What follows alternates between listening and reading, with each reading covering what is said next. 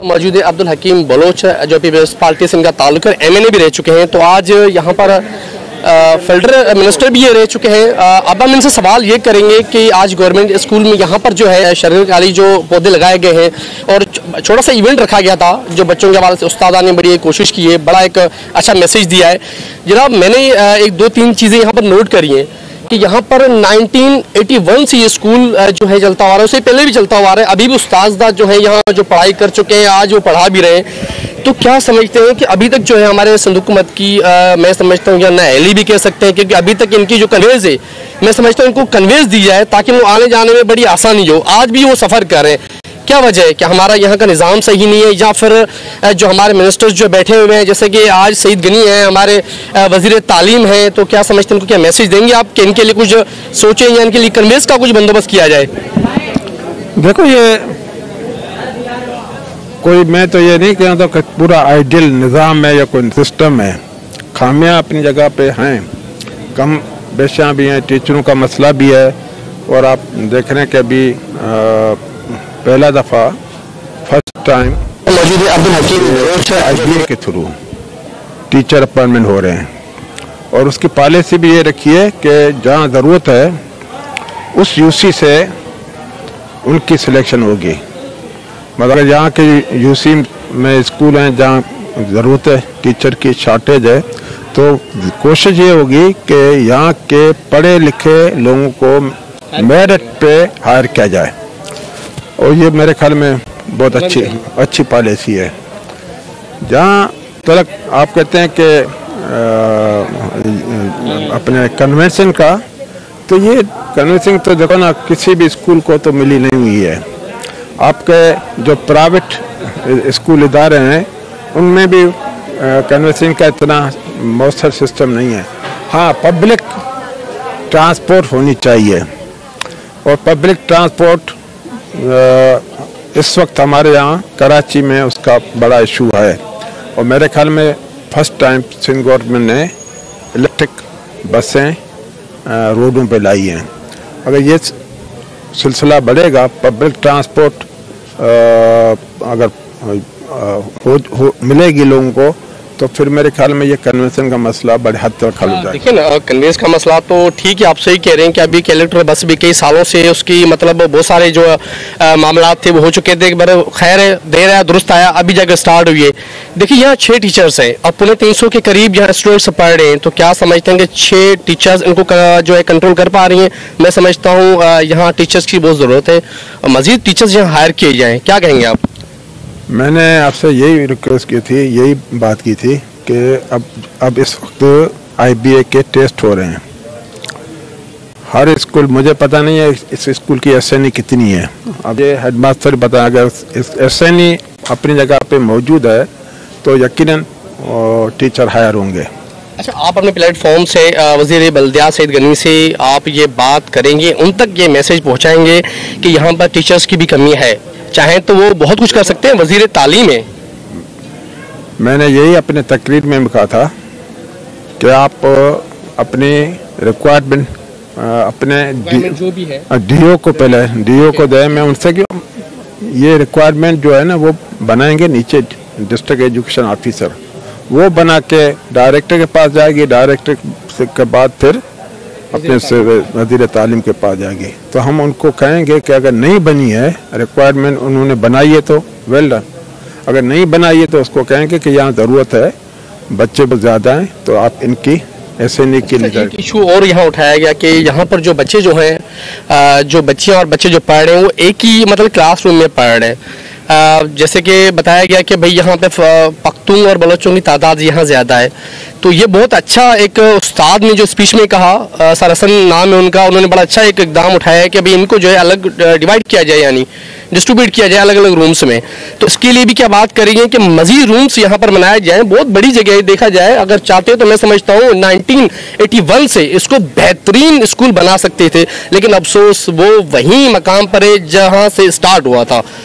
मेरे ख्याल में ये इसमें कौन सी रॉकेट साइंस है? कि ये ये तो एडमिनिस्ट्रेशन कर सकती है मौजूद स्कूल का हेडमास्टर कर सकता है। मगर ये कि आप पहले टीचर की रिक्वायरमेंट पूरी करें ना फिर क्लास अलग अलग आप कर सकते हैं। और ये तो इतना कोई बड़ा इशू नहीं है जिसके लिए आपको मिनिस्टर साहब से अप्रूवल लेनी पड़े। आप इशू तो है बिल्कुल बच्चे और आजकल के जो हालात है आप देख रहे हैं। मैंने आपको कहा ना क्लास अलग कर सकते हैं मगर ये कि आप पहले अपनी रिक्वायरमेंट तो लेना टीचर पूरा करे ना। नहीं ये तो पूरा करेंगे तो मैं समय आपसे उम्मीद करता हूँ कि आप अपने प्लेटफॉर्म से ज़रूर इनके मसले हल करने की पूरी कोशिश करेंगे। मैंने अपने स्पीच में यही कहा कि मेरे मेरे साथ मैं जो भी कर सकूँगा अपने बच्चों के लिए करूँगा। जितनी मुझसे हो सके। बहुत शुक्रिया अब्दुल हकीम मलोक साहब थे इनसे हमारी गुफ्तु हुई। उन्होंने पूरी यकीन दहानी दिलाई है कि मेरे प्लेटफॉर्म से जितनी भी हुई कोशिश करूँगा मैं कि जो हो सका इनके लिए ज़रूर करूँगा। अथॉरिटी बिल्कुल नहीं है हम जानते हैं बिल्कुल आई अंडरस्टैंड आप अथॉरिटी नहीं है लेकिन सर बिल्कुल सुबह हुकूमत की है हमारे सिंध हुकूमत है और माशाला आप बड़े इनके साथ जुड़े हुए हैं। तो मैं उम्मीद करता हूँ कि आप जो अपने प्लेटफॉर्म से पूरी कोशिश करेंगे कि इनके मसले हल हों ज़ाहिर सी बात यहाँ टीचर्स हैं। अच्छा कुछ टीचर्स हमारे मौजूद हैं आप आइए कोई सवाल कोई है प्लीज़ आप आ जाएँ। कुछ टीचर्स का सवाल था आए मैन। जी बताएँ क्या मसला है आप लोगों को? अस्सलाम वालेकुम मसला हम लोगों का ये है कि हम लोग जो हैं एनटीएस टीचर हैं एनटीएस के एग्ज़ाम्स पास करके आए थे। तो कुछ टीचर ऐसे हैं जिनको कि 2014 में अपॉइंटमेंट दे दी गई थी दिसंबर 2014 में। और कुछ ऐसे हैं जिनको फिर लिस्ट वाइज किसी को मार्च में और किसी को सितंबर में 2015 में दी गई। मसला ये है कि जब हमारा बिल असेंबली में पेश हुआ रेगुलाइजेशन का तो सिर्फ़ 2014 वाले जो हैं, उनको रेगुलाइज कर दिया गया। क्योंकि एक मिस्टेक हो गई कि सिर्फ़ उसमें जो बिल में डेट थी, वो 2014 की डाली हुई थी। और अब जो है, अब हमारा बिल कितने अरसा हो गया, असेंबली में पड़ा हुआ है अमेंडमेंट का बिल। और अभी तक उस पर कोई काम नहीं हो रहा। हम लोग अभी तक रेगुलर नहीं माने जा रहे, जबकि हम छः साल से पढ़ा रहे हैं। तो ये हमारा सबसे बड़ा तनख्वाह मिल रही है सर लेकिन हमारी सीनियरिटी नहीं बन रही है।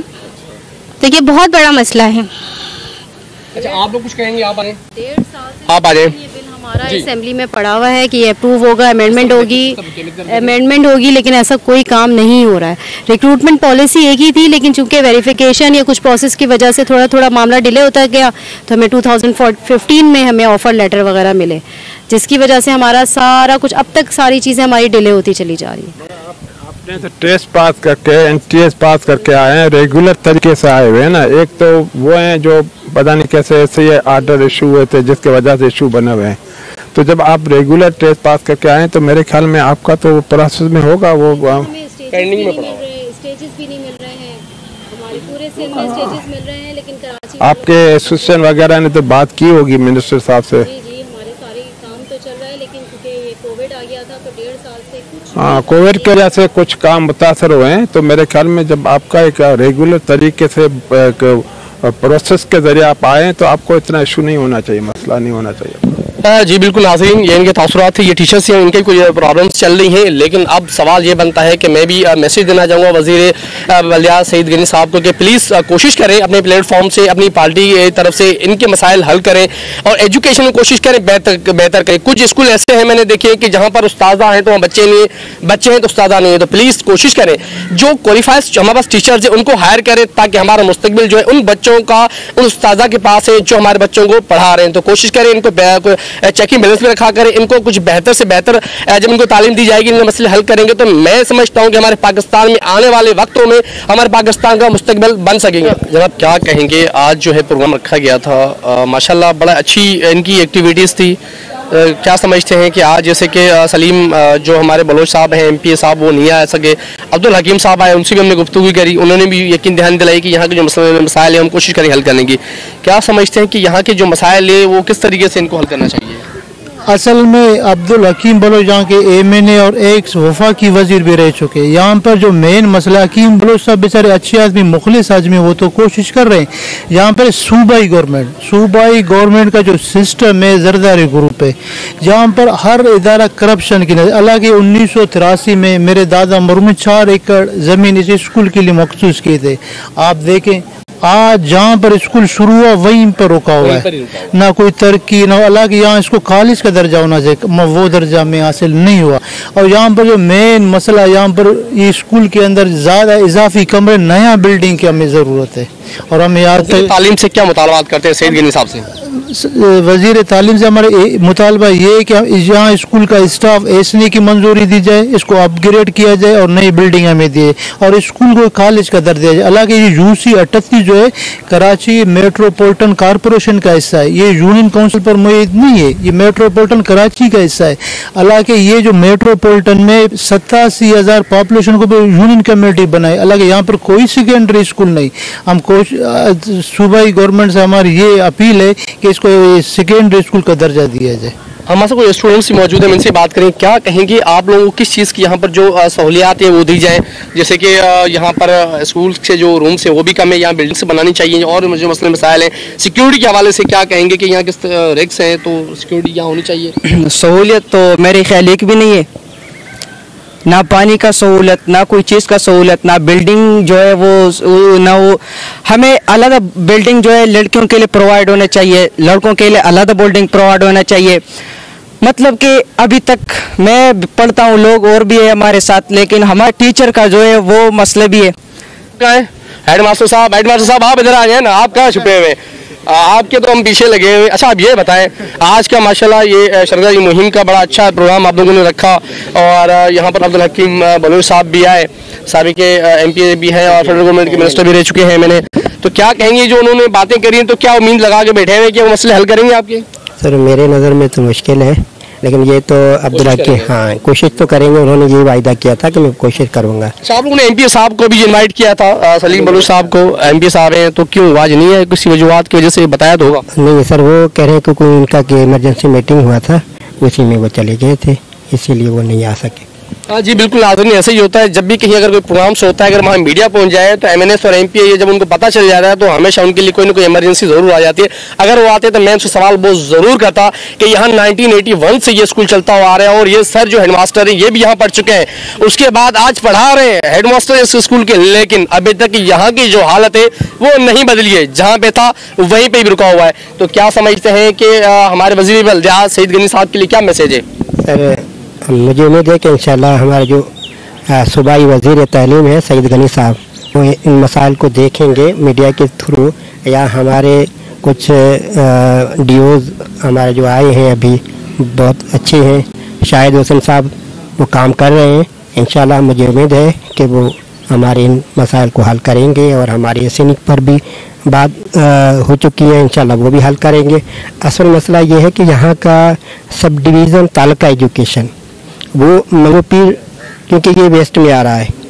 हमारे गडाब तालका में पाँच सब डिवीज़न आ रहे हैं।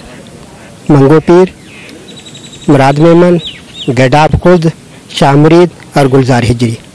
यानी तीन डिस्ट्रिक्ट हैं। डिस्ट्रिक्ट ईस्ट भी है डिस्ट्रिक्ट वेस्ट भी है डिस्ट्रिक्ट मलिर भी है। हम चाहते हैं कि हमारा इस इलाके का जो तालका असल है मंगोपीर तो उसको ताका का हैसियत दी जाए एजुकेशन में। ताकि उनके मसाइल जल्दी हल हो जाए। जी आप बताएँ। रहमान आ, इस स्कूल में हम पाँच साल से पढ़ रहे हैं और जैसा बात किया जाए सहूलत के हमारे टीचर्स है जो बहुत मोहल्ले से अच्छी तरह से पढ़ाते हैं। लेकिन आप सोचिए खुद आप ये आ, मैं आपको बताना चाहूँगा कि हमारे पास 300 स्टूडेंट्स है। तो पाँच छः टीचर्स को कैसे कवर कर सकते हैं? तो हमारे को मज़ीद टीचर्स की ज़रूरत है। या स्कूल में मुख्तलिफ़ प्रॉब्लम्स है या इसमें हमारे पास गार्ड्स का कोई प्रॉब्लम नहीं है या इलाका जैसे ना जी चौकीदार गार्ड नहीं है। या ज़रूरत है रेस की इलाका है या कुछ भी हो सकते हैं तो हमारे लिए गार्ड्स की भी ज़रूरत है यहाँ पर दूसरे प्रॉब्लम्स होते हैं स्टूडेंट्स को वो सहूलत नहीं दी जाती है, जो जिसके हक है। तो मैं वजी तालीम से भी ये दरख्वास्त करना- चाहता हूँ कि तालीम पे ज़्यादा तवज्जो दी जाए, तालीम को करप्शन की तरफ़ न लेके जाए, इस पर ज़्यादातर तवज्जो दिया जाए। यहाँ पर ऐसे बच्चे हैं जो तालीम का अफोर्ड नहीं कर सकते हैं कि कुछ कर नहीं पा रहे। जी, बिल्कुल मैं इनकी बात से इतफाक रखता हूँ, क्योंकि यहाँ हमारे यहाँ एक ऐसा निज़ाम है सिक्योरिटी का बड़ा मामला जो है वो होता है, क्योंकि जब भी देखा जाए कोई हादसा हो जाए या बड़ा कोई सानिया हो जाए तो उसके बाद सब खड़े हो जाते हैं, इनकी आँखें खुल जाती हैं, ये क्या हो गया, वो क्या गया हो खुदा के बंदे, उससे पहले, कोई हादसे से पहले तुम लोग इस तरह की एक्टिविटीज़ करो, जो इस तरह के मामला ना हो, ना कोई हादसे हो, उसको रोकने के लिए, रोकथाम करने के लिए यहाँ सिक्योरिटी का होना बहुत ज़रूरी है, क्योंकि तीन सौ तलबा यहाँ तालीम जो है वो हासिल कर रहा है, ये कोई मज़ाक नहीं है। कल जब कोई बड़ा सानिया बन जाएगा, या कोई मामला बन जाएँगे तो फिर हम जो है ना गहरी नींद से उठेंगे और कहेंगे कि अफसोस के अलावा उनके पास कोई अल्फाज नहीं होते। मैं समझता हूँ कि आज भी उनके पास टाइम टाइम है गहरी नींद से उठे और इनके जो मसले हैं स्टूडेंट्स के, वो भी हल करें। यहाँ जो है मेन मसला जो है यहाँ पर सिक्योरिटी का है। तो यहाँ सिक्योरिटी प्रोवाइड की जाए ताकि ये बसानी अपनी तालीम जो है वो जारी रख सके। तो नाजरीन, आज का प्रोग्राम हम यही खत्म करते हैं और कोशिश करेंगे नेक्स्ट टाइम एक नए प्रोग्राम के साथ फिर हमारी मुलाकात होगी। तब तक के लिए मेरा ख्याल रखिएगा और मुझे दीजिए इजाज़त, इंशा